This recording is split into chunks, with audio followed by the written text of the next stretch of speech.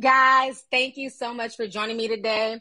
Sorry about the few issues we had to kind of reboot and start over. Um, for all the people on Android, y'all know where to go. Y'all go to the Discord, go to the Green Tea Room. That's where all the Android users are at. Um, the iPhone users, yes, I've crossed over to the other side. Um, y'all can sit here and you know chat in this chat. But I have my Discord pulled up as well, so I can see what the Android users are saying. Um, so I wanted to just kind of talk to you guys about just everything that's been going on. Umber, can you mute your phone real quick because there's a bunch of background static? Okay, thank you. So it's been a lot. Like this documentary was a lot to unpack, and I just wanted to thank everybody, you know, who just really helped. So I kind of want to explain everything because I see there's some people, of course, in their feelings, honey, um, about why they don't have access to the documentary. Where is it at? I'm not promoting it as something for everybody to go watch or you know y'all go join this or you you know that's not what i'm doing.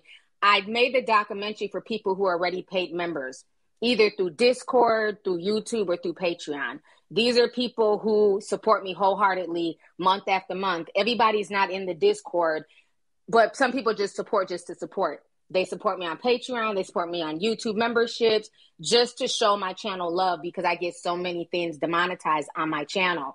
So that's why I wasn't promoting it or saying where to go watch it. It was for people who are already in those spaces. You know what I'm saying? And so when I post things on my Instagram, even though that's public for everybody to see, you have to understand that sometimes when I post stuff on Discord, people miss it because as soon as I make an announcement, everybody comes running to the room they're po- they're posting gifts and memes. So a lot of the announcements get missed by people. So I always post things on Instagram so that way people on these different platforms understand when we're having meetings, when you know things are going to be available for them. So it wasn't like I'm purposely trying to leave people out, but I'm purposely making stuff for people who who genuinely support my channel and I'm not going to apologize for that because this was a lot of work to put this together and when everything first broke, it was like it was just a struggle, like trying to stay focused on the wedding, but then seeing just all the symbolism and all the crazy stuff. And I remember while I was getting ready for the wedding, I started like going, I was in the in the celebrity chat room on the Discord and I'm watching videos and I'm conversating with like pink nail polish and a few other people. And she's posting stuff about Travis Scott and his beef with security. And literally, as we're watching it, videos are being made private. Like while while we're in the middle of the videos, things are getting pulled down, things are being private. As soon as people are posting links, you go to click it, it's gone. So at that point, I just made an announcement and I added everyone. I said, look, I'm dealing with this wedding situation. I want to focus on that. But there's so much stuff that needs to be unpacked with this Astroworld.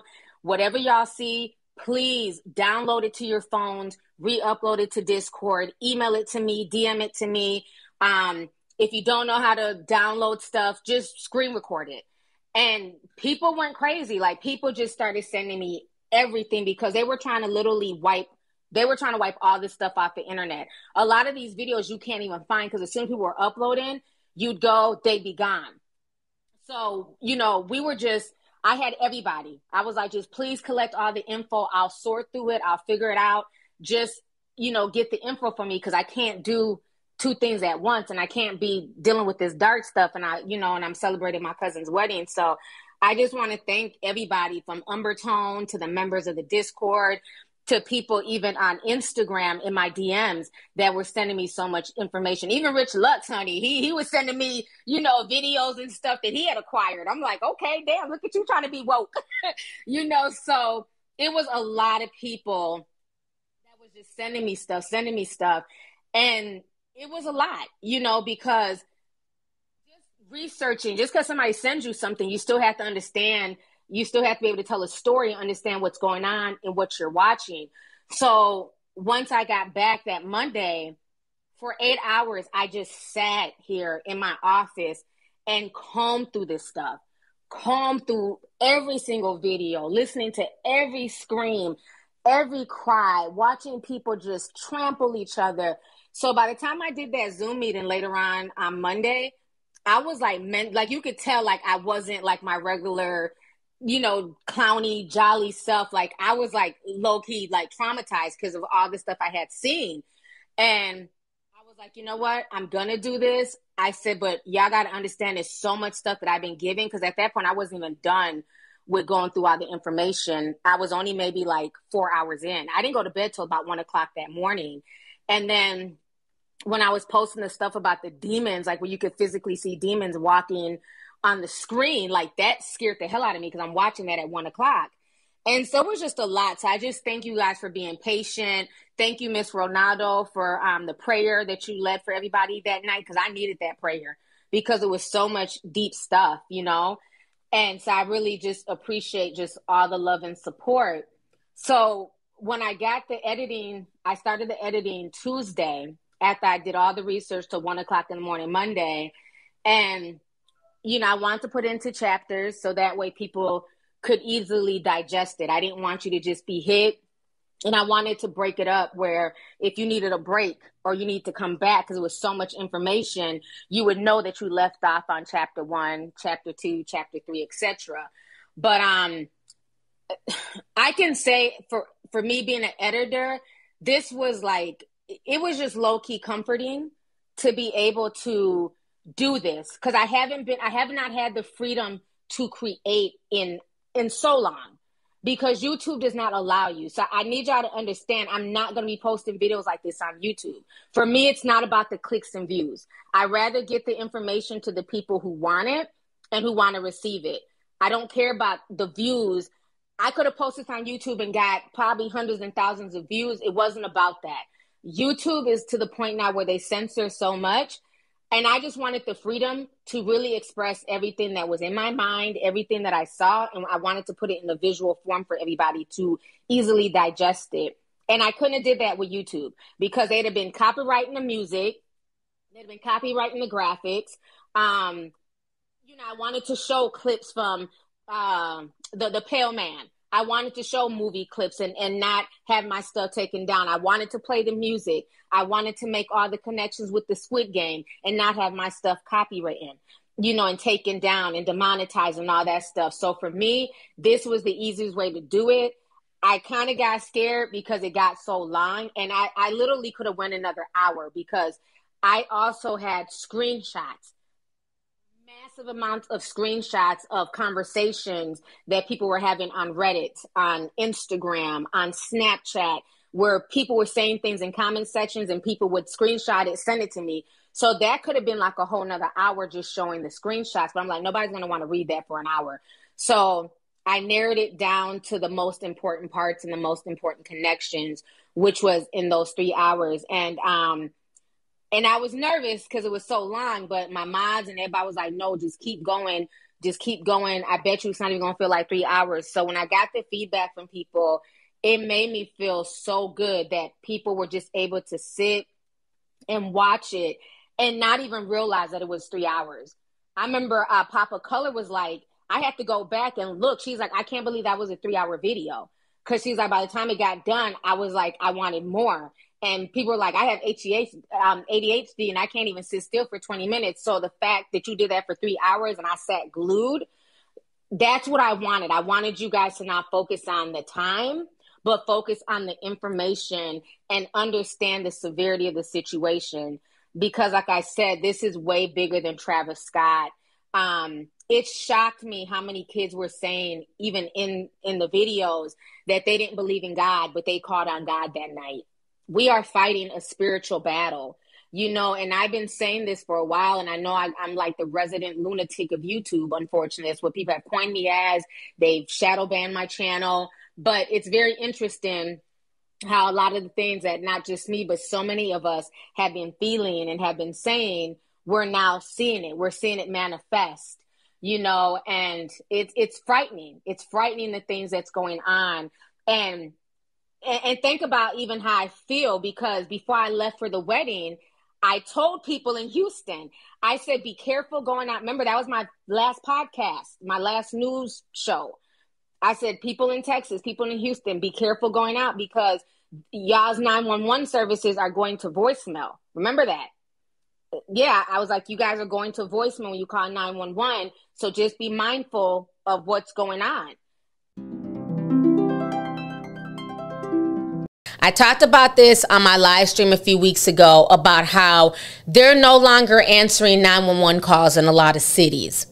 It's happened in places like Atlanta, and now they're talking about it because it happened in Houston, where somebody, I believe they died from a heart attack. When their family members went to call 911, people are getting 911 recordings, basically saying 911 cannot answer right now. It's just really disturbing.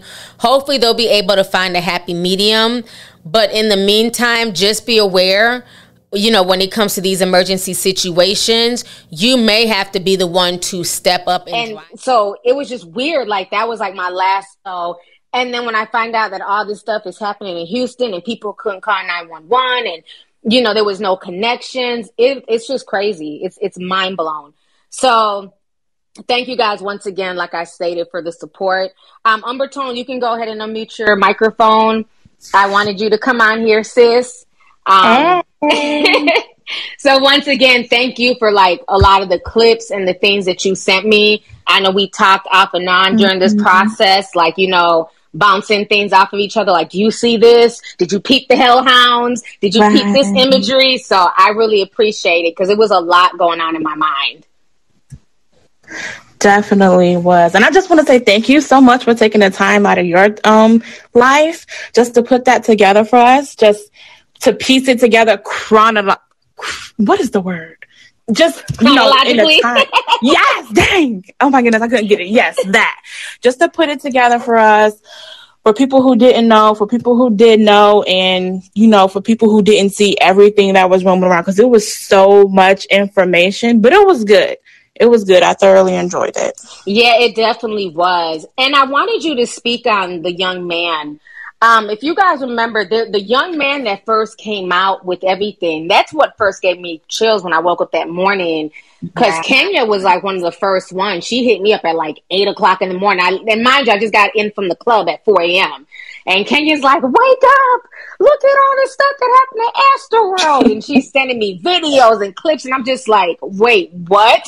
Right. You know, but the young man who came out and was like, you know, this was just so demonic. And I really looked up to Travis. Mm-hmm. Um, you said he's had a whole spiritual awakening. Because remember, his name was Diablo. Uh, right, right. It was okay. So he explained that like when everything happened and he did the live, it was a bunch of comments, you know, people saying this, saying that, and one of the main things was, okay, you're saying all of this, you seeing demons, you hearing screams, all of that, but you're you got Diablo in your name, and that's Spanish for mm-hmm. devil. Right. So right after he did that viral clip he was posting a few things and then he said he was going to go live to explain everything that he's seen.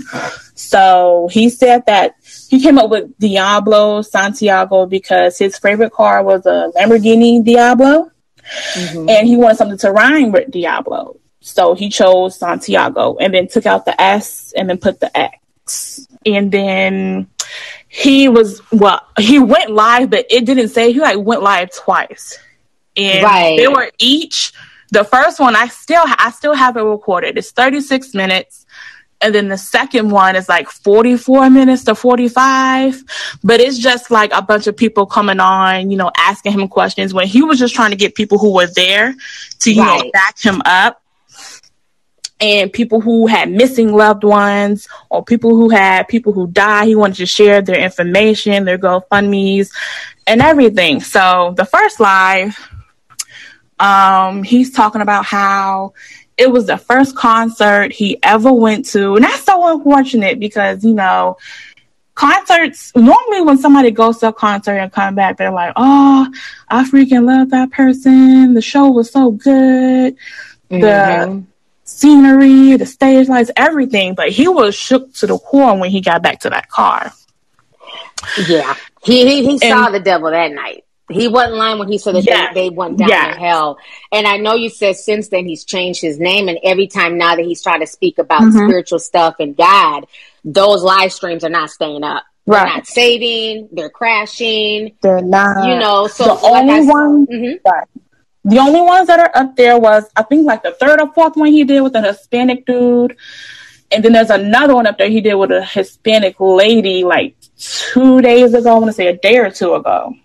Those were the only ones. But like when he was first going live, like the first live and the second one, he kept trying to swipe his phone, trying to add people, um, trying to end it and try to start again because it was it was so awkward because it was long pauses of silence and him just tapping on his phone. Um, mm-hmm. His phone had just shut off on its own. And he come back and be like, "Oh, y'all, I had to go charge my phone. I had to do this and do that because it just cut off on its own. I didn't mean it. It's just weird stuff happening."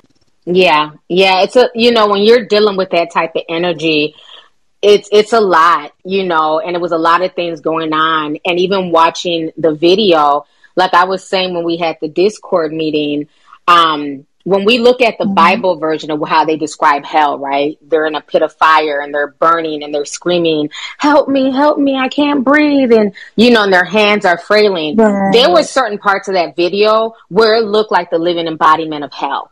When you're hearing grown men shrieking like children, Bro, help me, bro. Help me, bro. God, but I like, like when I seen I cannot get that scream out my head. I couldn't eat because it was like it was clear he was like but six rows behind people. He still had his hand reached out for somebody to grab him. He was like with everything in his throat, bro, right here, right here, bro, come yeah. on. I'm like, oh my gosh. And then to find out when the the one I don't know if you saw the news with the white boy that was talking, how he's saying every four minutes you're just getting pushed through the water. You know, it's like a water, a sea of people. Yes, you're just getting pushed. Yes. He said every four minutes it was a different face. But what creeped me out is he said that wherever you positioned your arms is how your arms were stuck. So if you had your arms above yeah. your head trying to breathe, it stayed up there. And then if your arms were down below by the sides, it stayed there. So imagine if you're an artist and you're looking in the crowd, you're right. thinking that all these people are waving their arms, right? Because it's like a sea, it's a motion. No, wave your arms in the hair, just wave like you just don't care. Right, right, but these people are not voluntarily waving their arms. Their arms are stuck there because they're packaged in, and then they're waving because of the wave of the people. Tell me that's not energy. Right. Mm. Child. Whew, it was just so much. He said before he even got there, it was like he had a feeling of anxiety and that his friends had stopped to eat before they had went into you know the event and everything and he could not swallow anything. Like he could chew and do what he needed to do but he found it weird that he couldn't swallow his food and he just didn't know why. He was feeling angst and he couldn't let his throat you know do what it do. And he was like at that moment, he didn't know what was going on. Nothing had happened. He hasn't even gone to the event, ain't seen nothing, ain't, you know, experienced anything. So he was wondering why he was feeling like that even before. And then at the pre-show, that's that's how he was able to do what he did when the time came for Travis to perform when he sat on the rail near the back of the VIP.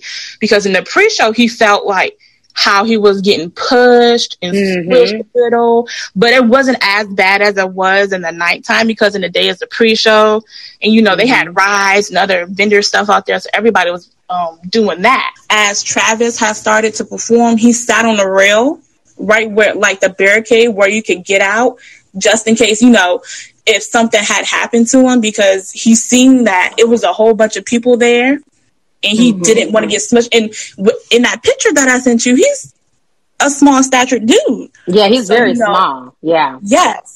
If he had gotten caught up in that, who knows where he'd be? Who knows, you know, if he would have lived to tell his story about mm-hmm. everything that, you know, went on at the concert and that's happened to him personally. This dude can barely fall asleep without hearing the screams. And yeah seeing the images that he saw of people at the concert yelling for help, dead bodies packed on top of each other, black, blue, yellow, just you could see people not have life in them. He has to sleep in the bed with his older sister. And even mm. then, he's laying awake, petrified. He'll go in yeah. and out sleep. It's it's just like I don't PTSD is a term for it. Every time he Yeah. closes his eyes, he hears the concert, he hears the music, the people, he sees the lights and everything. I'm like, oh my goodness, this poor boy. And he had someone come up to his house and take a picture of his license plate. And I'm like, Mm. okay, what? First, what reason would there be to come up to his house and do that? Who was that? How they know where he lived? You know, Right. and, and his um peoples was in the kitchen cooking with the oven and everything. And it Oh yeah, and they had a, a started a fire. yes, and I got screenshots. Yeah, all you this. sent me I the them- picture. Yeah, they Yeah, so I'm not capping. fire started Yes. in the boy's kitchen.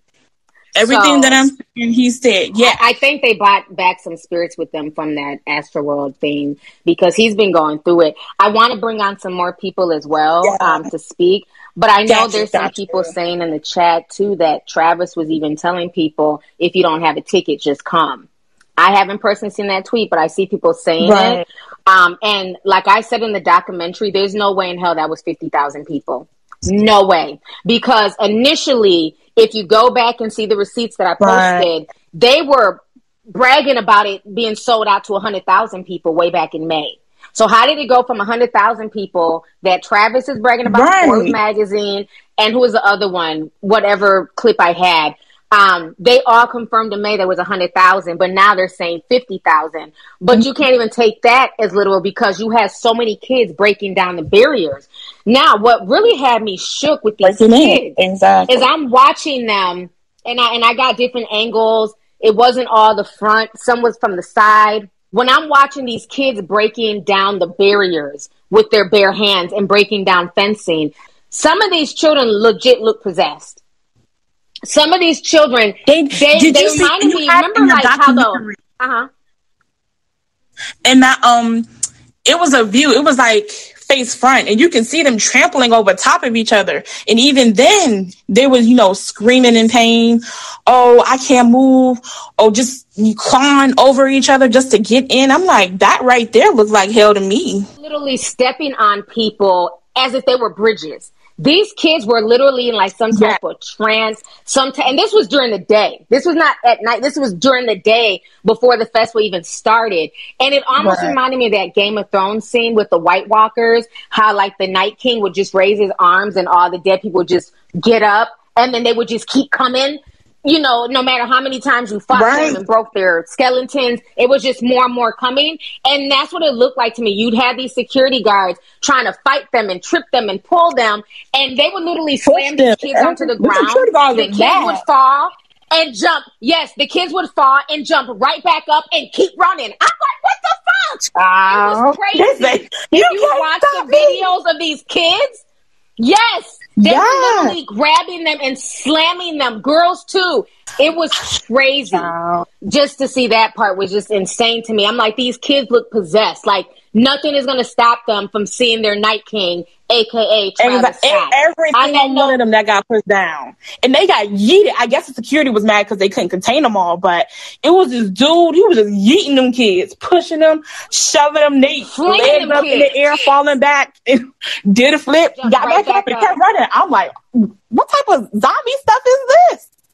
It was crazy. I'm going to start bringing people on stage. Please make sure you're muted until um until I ask you to unmute yourself. So I'm going to bring a few people on here, but just make sure you're muted first so you're not talking at the same time. Um, Muchilla, you want to go ahead and unmute your microphone? Hey T, Hey, Miss Muchilla, how you doing? I'm okay. I I heard about this early in the morning. How well, actually late at night, where they they did a um, uh, it, they it did something on CNN where they interrupted everything, but I didn't know it was gonna be this bad. Yeah. It, that documentary you did was amazing. Thank you for taking the time out to break everything down from the beginning of his career until where we are with this whole concept. And he was already a dark artist, like you you showed. Mhm. He was already a dark artist, but with this everything, with seeing the demons and and things like that, and then with him doing, it seemed like he was in a trance himself Oh yeah. Oh yeah. and, and when he was doing that that that moaning or whatever he was Mhm. doing, That's what I don't even think he knew what was going on in the audience at some point. No, he was definitely not physically or mentally there. He was very entranced. And remember, that's why I, even near the end of the documentary, I, I hit on the frequencies because that was a repeat thing that I was seeing as I was going through all the, the, the videos and listening to the firsthand accounts everybody kept saying there was this weird music. It didn't have any lyrics. It didn't really have any beat. It was just this constant, eh, like this weird noise and that mm-hmm. frequency mm-hmm. was. And then when people. he was doing that that moaning, like ooh, mm-hmm. when he was doing all of that, that right there, it, you could tell he was in a trance. Yo, what's up? Hey, tea sippers. To listen to the rest of this podcast, please go to Apple Podcasts, Spotify, Google Play, Stitcher, TuneIn, or AnchorFM.com, which is a free podcasting site. Thank you guys so much for the support, and stay tuned for the next video.